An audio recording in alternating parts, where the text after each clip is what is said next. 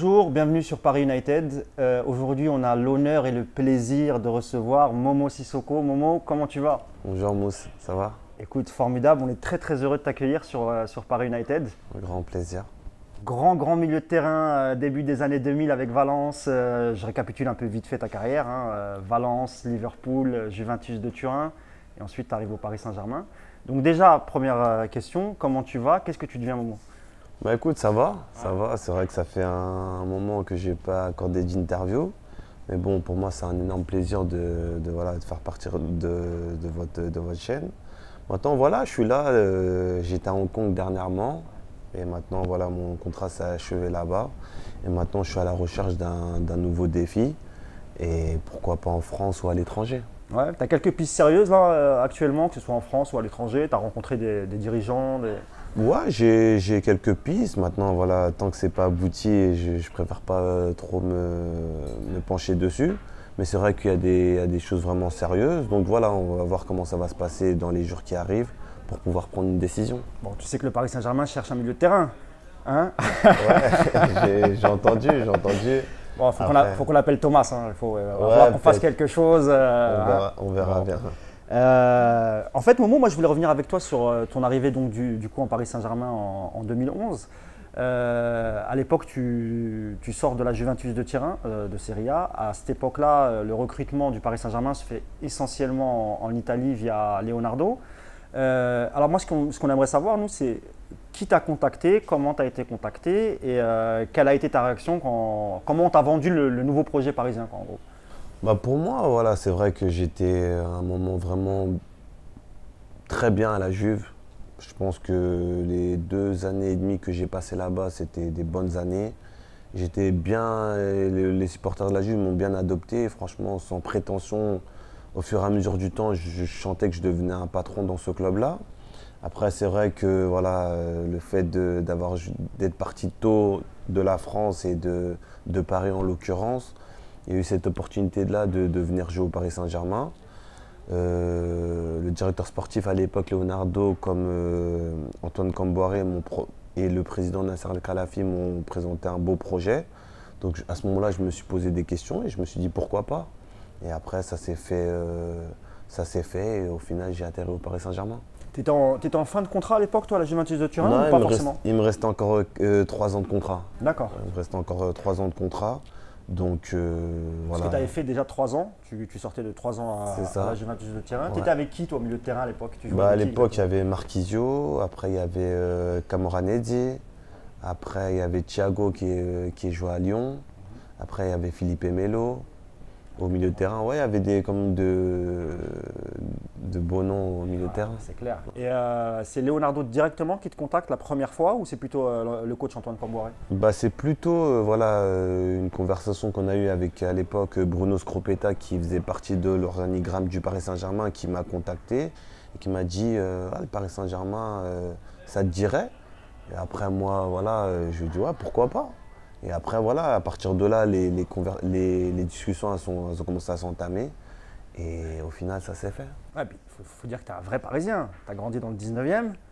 Ouais, après voilà, pour moi le fait de, de revenir au Paris Saint- Paris Saint-Germain où il y a tous mes amis, tout- toute ma famille, c'était une bonne chose. C'était une belle opportunité. Exactement. Parce qu'il faut, il faut rappeler à nos, à nos, à nos auditeurs que, le, que tu pars très très jeune de, de France, parce que tu démarres ta formation à 3 C'est ça. en 1995, donc tu as 10 ans. Ouais. Tu fais 3 ans à 3. Ensuite, tu intègres encore le, Le centre de le formation centre de de- formation d'Auxerre. Ouais. Pareil, tu joues, euh, tu joues avec euh, la réserve d'Auxerre. Et tu arrives très très jeune à, à Valence, qui est euh, dirigé par euh, Raphaël Benitez. Et là, tu exploses en fait. Ouais, c'est euh, c'est vrai qu'en jeune, j'étais formé en France. Après, bon, euh, mon objectif, et l'objectif de tout jeune, c'est de, de jouer dans le club formateur. Après, à défaut de- du fait qu'on ne on, s'est pas entendu contractuellement parlant et au niveau de, de beaucoup de choses, voilà, j'ai décidé de prendre mon courage à deux mains et de, de tenter une expérience euh, à Valence. À là-bas, j'étais, euh, j'ai signé là-bas pour être euh, en- avec les jeunes, avec la, la Seconda B exactement. Et au final, au bout d'un entraînement, euh, Rafa euh, m'a conservé dans le groupe pro. Et après, à partir de là, voilà, je pense que c'est le meilleur choix que j'ai pu faire Parce qu'après cette année-là, on, on rafle tous les titres, en l'occurrence la Liga, l'UFA et la Supercoupe d'Italie. Donc pour moi, c'était un choix qui était bénéfique.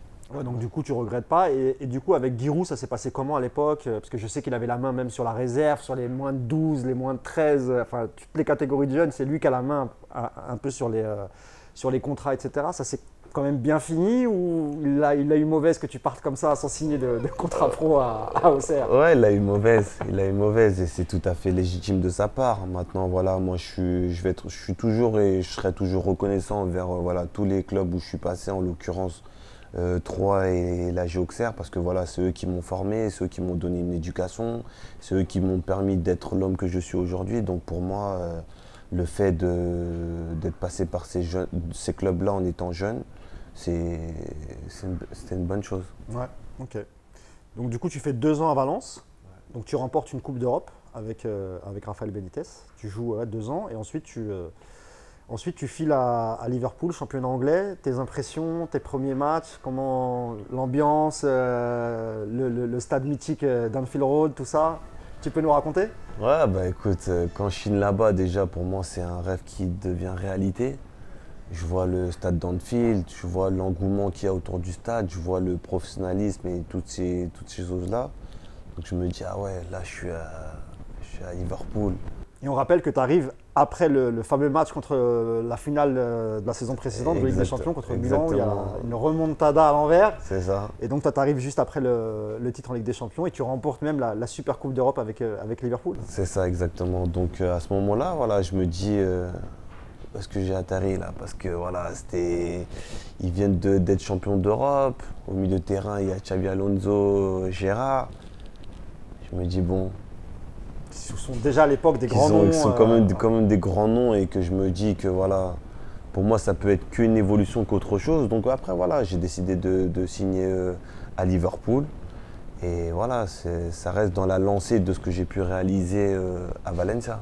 Donc du coup, est-ce qu'on peut dire aujourd'hui que le, peut-être le coach le plus important de ta carrière, ça, reste Raphaël Benitez, qui t'a toujours fait confiance, qui. Bah pour moi, euh, moi je suis reconnaissant avec, envers Rafa, parce que c'est lui qui m'a détecté, c'est lui euh, qui m'a donné l'opportunité de, de, jouer en, Liga à, 18 ans, chose qui n'est pas donnée à tout le monde. C'est clair. Hein. J'ai quand même enchaîné énormément de matchs. Donc je faisais partie vraiment de, voilà, de, l'équipe. Tu peux nous rappeler, toi, à l'époque, au milieu de terrain à Valence, avec qui tu jouais? Ah, À l'époque, ouais, il y avait, euh, y avait Aymar. Après, je, au milieu de terrain, je jouais avec Baraja et, Albelda. Donc on alternait entre les trois. Donc pour moi, j'ai enchaîné énormément de matchs, malgré mon, jeune âge. Je crois, que tu fais, je crois que tu fais plus de 30 matchs la première saison à 18 ans, c'est énorme. Exact, c'est énorme, c'est énorme. Mais c'est vrai que pour moi, c'était Ouais, la cerise sur le gâteau et je suis vraiment fier de, ce que j'ai pu réaliser à Valencia. Ah c'est clair. Et puis surtout, euh, peut-être qu'en Ligue 1, tu n'aurais peut-être pas eu ta chance à 18 ans. Je pense que peut-être que les entraîneurs à l'époque, ils étaient un peu plus friables. C'était aussi pour ça que tu as, pris la décision. Euh. Alors je ne sais pas comment ça s'est passé avec Valence. Ils, t'ont voulu tout de suite, Valence, quand, euh, ils sont venus te voir ils t'ont vendu le projet, ils, te voulaient absolument ouais. t'arracher à Auxerre comme ça à, 18 ans. Ouais, ils me voulaient absolument. C'est vrai qu'ils ont, ils ont mis tous les, tous les ingrédients pour que je puisse venir euh, à, à, Valencia. C'est vrai qu'à l'époque, il y a un moment où j'ai signé un, pré-contrat et à un moment, après, je me suis rétracté. Et après, euh, Garcia Peters, le directeur sportif de l'époque, est revenu pour, est venu pour voilà, me convaincre que voilà. Donc il fait le déplacement de Valence à Auxerre. Hein. C'est ça, pour me dire que tu vas pas le regretter. Il, a, il a été convaincant. Et au final, ça a payé. Bon, super. Donc comme on a, on, a évoqué les, les, les, trois gros clubs avant que tu arrives au Paris Saint-Germain, donc maintenant on va, on va parler du, du, Paris Saint-Germain. Euh, tu arrives donc en 2011. Euh, c'est le, coach, le coach c'est Camboire jusqu'à la trêve hivernale. Ensuite, c'est Ancelotti. Euh, comment se passe jusqu'à la trêve, les 3-4 premiers mois? Comment, comment, tu l'as vécu? Comment tu l'as senti? Bah écoute, pour moi, voilà, mon passage au Paris Saint-Germain, je l'ai un, peu à travers la gorge parce que voilà, c'est vrai que j'arrive un peu blessé. Je sortais d'une grosse blessure. Tu peux nous rappeler de quel type de blessure tu sortais? Bah écoute, je sortais d'une grosse blessure au niveau du cartilage. Donc voilà, la rééducation s'est pas passée comme euh, je le, voulais. Après, au niveau de ma rééducation, ça a pris un peu de temps, donc j'arrive pas, j'arrive pas au Paris Saint-Germain au meilleur de ma forme. Donc voilà, ça, j'ai beaucoup travaillé, je me suis beaucoup investi pour justement retrouver toutes mes capacités que j'avais, pu avoir au, à, la, à la Juve. Donc après ça, je retrouve, je retrouve petit à petit le rythme. Et T'alternes un peu avec Matuidi, euh, le terrain, parce que tu, il, arrive en même temps que toi, Blaise Matuidi, en, en 2011. Toi, tu arrives avec euh, Salvatore Sirigu, Javier Pastore, c'est ça, hein Jérémy Ménez, euh, il reste qui Blaise Matuidi. Euh, enfin, tu arrives vraiment au tout début du projet. Euh, la première ère Qatari, on va dire. Ça. Exact. Et donc, tu finis quand même par retrouver un niveau physique. Ouais, au fur et à mesure du temps, je retrouve. Tu es dans la rotation du milieu de terrain. Ouais, je retrouve un, Voilà. Pas, pas la à ce moment-là, je ne suis pas à 100%.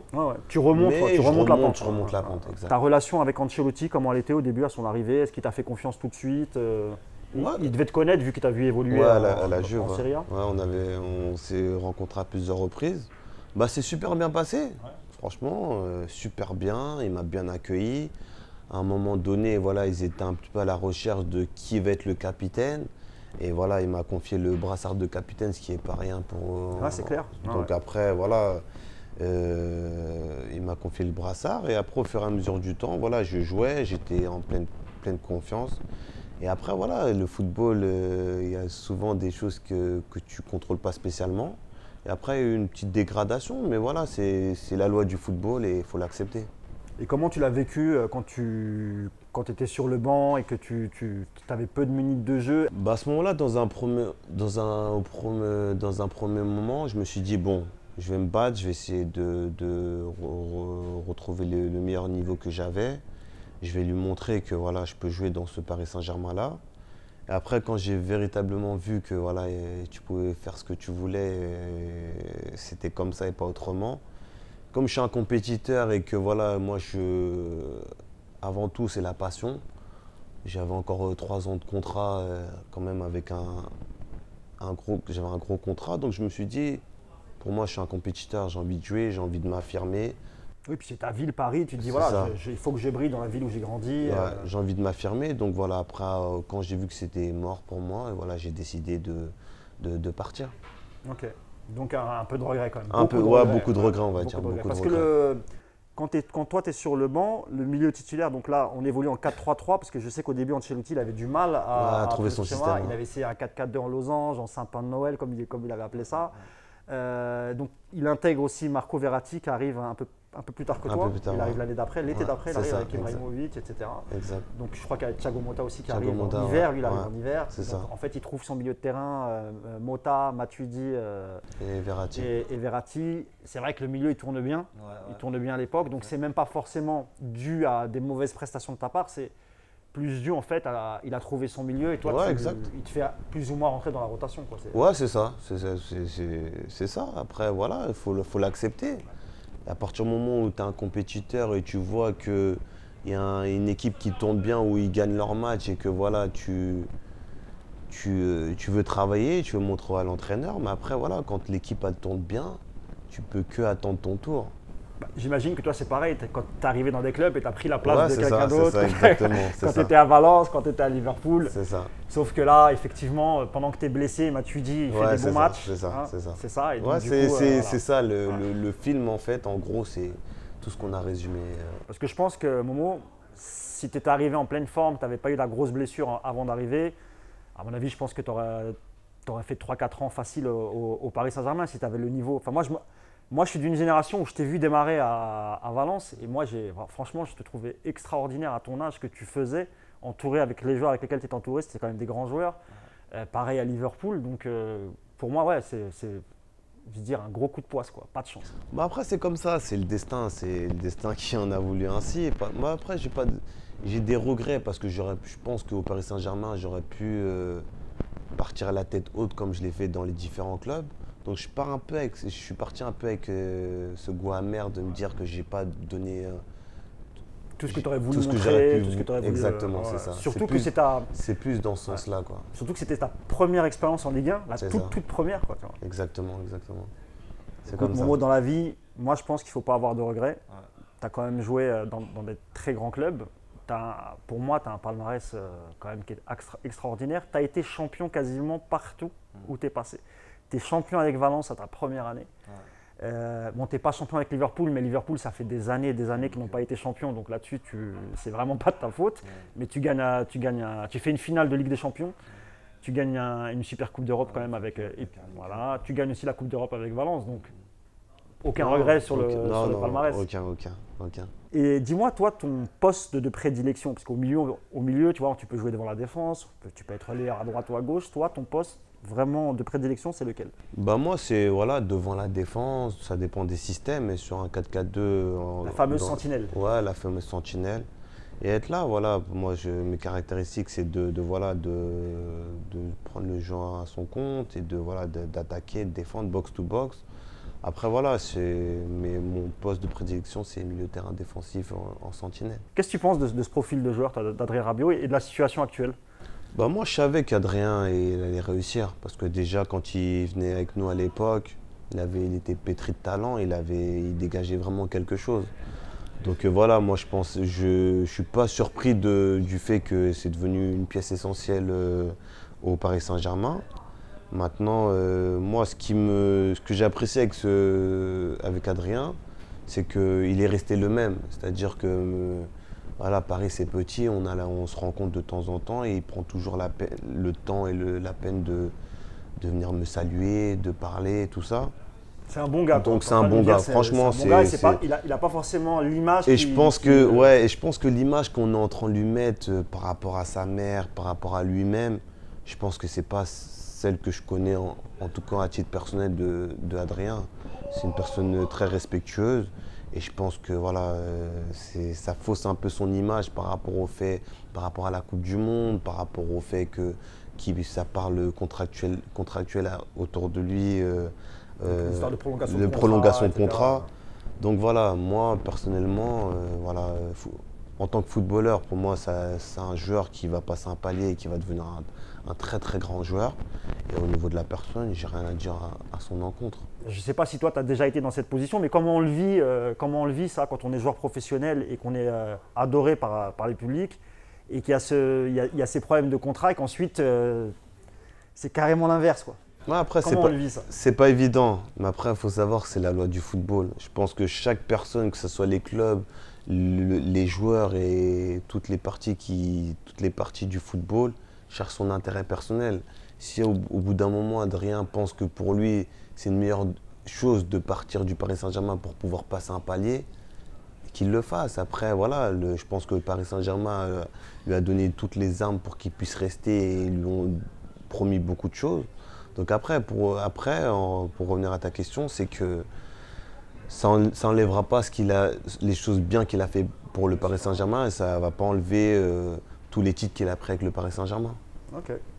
Tu sais que là, en ce moment, on, en avait parlé au tout début, le Paris Saint-Germain cherche un, milieu de terrain. Parmi les, top 3 des milieux de terrain qui pourraient s'adapter au jeu du Paris Saint-Germain, qui tu verrais toi?